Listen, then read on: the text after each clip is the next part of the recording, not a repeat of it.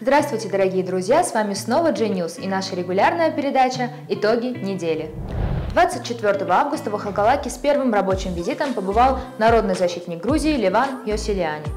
В офисе омбудсмена в Ахалкалаке народный защитник Грузии Леван Йосилиани встретился с представителями СМИ и неправительственных организаций из Ахалкалаки и Ахалцихи. Во время встречи поднимались проблемы в сфере образования, экономическая зависимость от других стран, безопасность и оснащенность в школах. Говорилось о том, с какими проблемами люди обращаются к неправительственным организациям, возврат гражданства для пожилых людей, насилие в семье.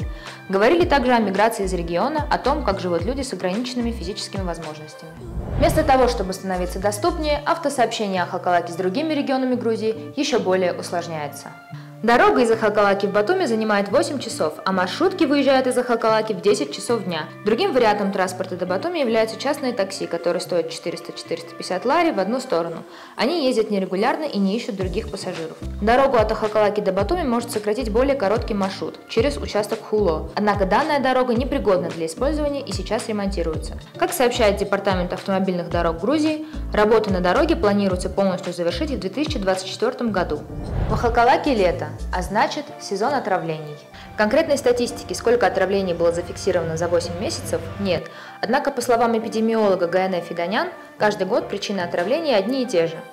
Эпидемиолог советует в этот летний период особенно соблюдать гигиену рук, овощи и фрукты употреблять после мытья, продукты обязательно хранить в холодильнике, не оставлять под солнцем, особенно торты с кремами.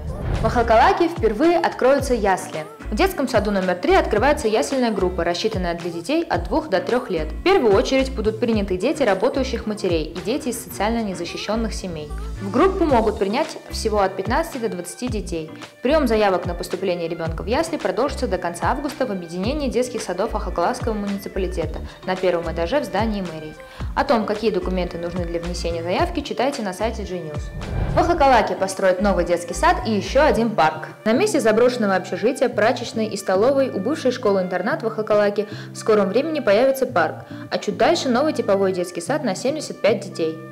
Тендер выиграла зарегистрированная в Тбилиси компания ООО IKB на сумму 1 миллион 657 тысяч лари. Работы планируется завершить в течение двух лет.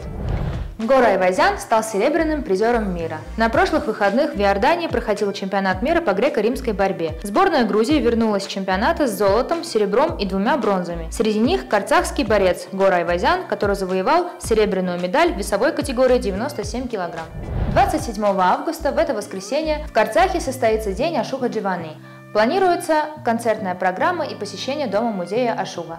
Это были основные новости уходящей недели. Встретимся на следующих выходных.